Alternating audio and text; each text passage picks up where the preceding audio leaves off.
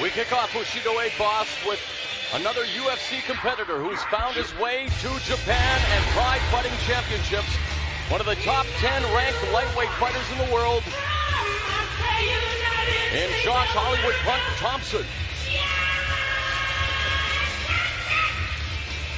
He reeled off seven straight wins to begin his career, including back-to-back victories in the UFC versus Gerald Strebendt at UFC 44 and Hermes França at UFC 40, 46. Now his only loss when his, in his last fight, which uh, was a highlight reel kick knockout against Yves Edwards at UFC 49.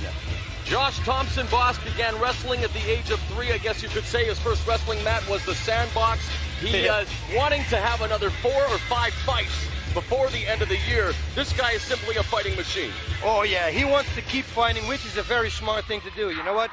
In my career, in the Pancrase career, I fought like 10 times a year, which keeps you in, an, in a shape all year around. It's perfect. You only have to train a couple of weeks because you're already 80, 85% of your, of your being.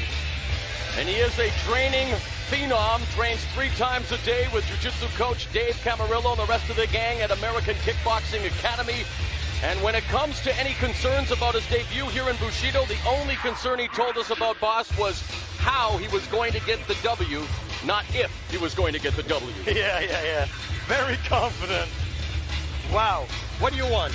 You want an armbar, leg lock, or a knockout? Give it to me, baby.